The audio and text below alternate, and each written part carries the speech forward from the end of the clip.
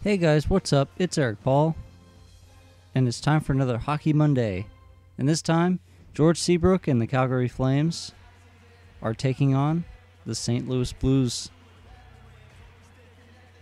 Um, one thing I want to address in this video is uh, lately I've been getting some really weird comments on the videos. Um, a lot of I don't know if people are trolling me or if they're just being stupid. I, I don't know. Like uh, there was there was some some things said about the the last Kings video I put out about the three pointers made. Uh, I I show when I make threes, but trust me, I miss a hell of a lot of shots. Like it's not like I'm making all the shots. That'd be ridiculous. I just play like that um, old seven second or less offense that Mike D'Antoni used with the Phoenix Suns. That's kind of how I play with that team. Um, so I'm just chucking up a ton of a ton of threes, and some of them go in because I shoot even more. So just to clear that up, if any of those dissenters are actually watching this video, and uh, I'm not mad or or uh, frustrated by you guys. I'm just confused. It's like think think critically about it for a little bit. And you'll understand that I'm not trying to like cheat the system here. But anyway, this is actually a very good game, um, in my opinion. You can tell by the title it, it's it's pretty damn good, but really high scoring, and right there, the St. Louis Blues score their first goal and tie up the game. And uh, George Seabrook was heading towards that defender. I, I messed up um, when I was going towards him. I, I veered to the left a little bit, and I could have probably blocked the shot if I had gotten in front of him. But what are you gonna do? The goalie really did mess up there. It, it's it's almost not even my fault.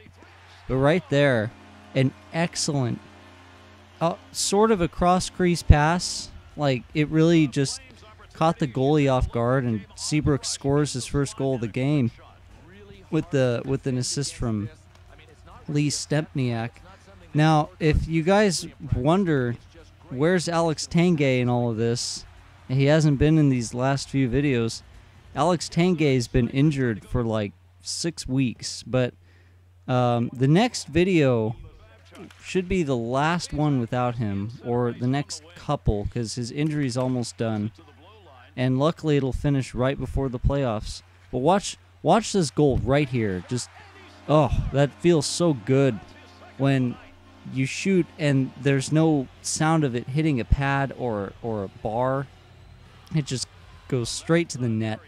And Seabrook gets his second goal, sort of an assist from Giordano and, and Babchuk but um, that was uh, I haven't been able to do that for a while, and when I did it while I was recording, I was like, wow, that was that was pretty awesome. And you can see there, um, since the Flames uh, only have a one goal lead. Well, right there, George Seabrook picks up his hat trick. But I was going to say the Flames only have a one goal lead. Even though it's the third period, Seabrook had a chance to get an empty net goal but it doesn't matter. Seabrook picks up the hat trick, the second one I've done in the NHL. And really strange coincidence, both of them I was recording for a commentary. So um, that makes the score 4 to 2. And right here, they score again. So uh, the Blues aren't going away without a fight. Um, the next few videos that are going to come out um, are probably going to be really quick because I am on spring break, so I can probably release a video like every two days here. Um, though that depends on if I have enough energy um, after I put out a video tomorrow on RGN Sports. Speaking of which, RGN Sports, go subscribe to their channel. The link of the channel is on my channel. Um, and George Seabrook picks up his fourth goal of the game. And I think that might be the most goals he's gotten in one game in an NHL uh, NHL game. Um, I'm pretty sure I had a four goal game when he was still on the St. John Sea Dogs.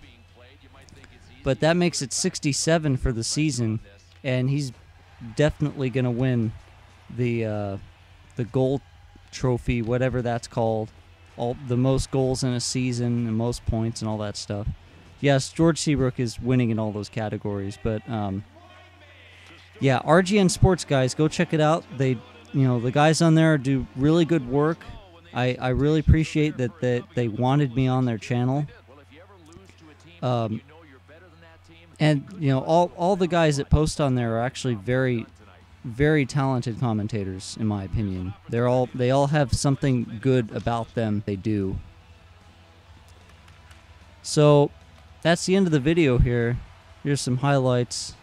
All these goals. It was a very high scoring game. One of the best games I've had in a while. And I'm glad I was able to put it up on YouTube. So, um, anyway, guys, I'm Erik Paul. And thanks for watching.